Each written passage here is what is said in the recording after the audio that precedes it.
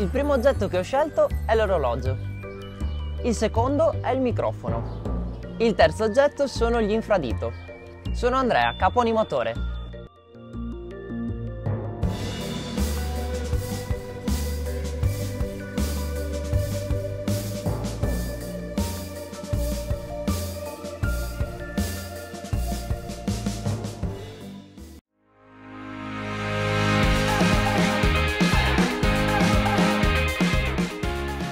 Ho scelto l'orologio come elemento essenziale del mio lavoro perché la puntualità è importantissima, chiaramente noi abbiamo diversi appuntamenti durante la giornata in cui abbiamo attività con i nostri ospiti e chiaramente non possiamo fare tardi a questi appuntamenti, c'è un orario ben preciso, da un programma da rispettare e i nostri ospiti sanno che a quell'ora c'è quell'appuntamento parlare appunto al microfono per un capo animatore è alla base, per il semplice fatto che comunque dobbiamo presentare delle serate, dobbiamo parlare e dire che cosa succederà il giorno dopo piuttosto che quello che andrà a succedere durante la giornata.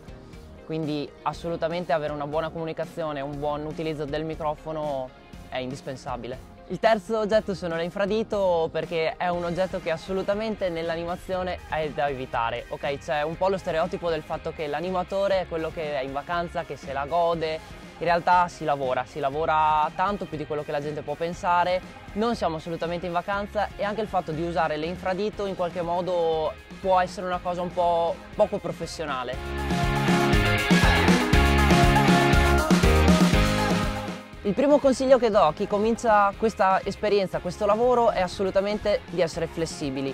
Ci troviamo a lavorare con tante persone diverse, tante culture diverse, quindi l'imprevisto è sempre pronto e naturalmente proprio perché sono culture diverse hanno abitudini diverse dalle nostre e renderli felici nella loro vacanza per noi è essenziale. Il secondo consiglio che do è di imparare le lingue. Le lingue, soprattutto l'inglese, ormai sono essenziali nella vita di tutti i giorni e mai come in questo lavoro, proprio perché ci troviamo in certe strutture a lavorare con ospiti che sono olandesi, danesi, inglesi, francesi, spagnoli, russi e chi più ne ha più ne metta, quindi quantomeno l'inglese per poter comunicare con tutte loro serve. Sembra sciocco ma il sorriso è alla base di questo lavoro, è il biglietto da visita che noi diamo al nostro ospite quando gli diamo il benvenuto nella nostra struttura.